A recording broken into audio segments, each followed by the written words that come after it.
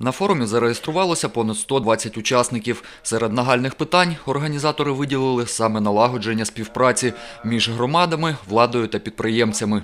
Три основных э, группы участников. Основная – это представители органов самоуправления, это э, руководители городов, это депутаты, это исполнительные органы, которые отвечают за развитие э, города. Также у нас есть общественные организации и активисты, которые также работают с проектами развития громад. Організатори форуму наголошують, що так звані комунікаційні площадки прискорюють розвиток створення комерційних проєктів, що в свою чергу позитивно впливає на місцеві бюджети.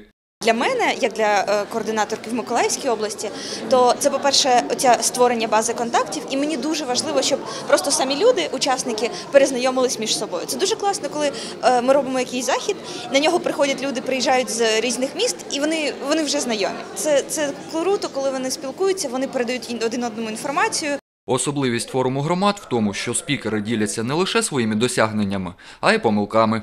Досить солідний форум для органів місцевого самоврядування.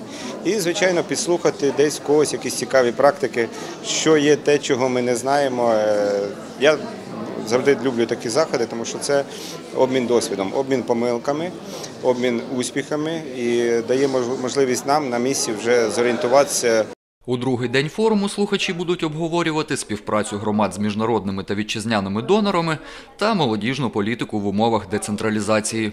Олександр Гордієнко, Артем Белібов, телевізійні новини Миколаївщини.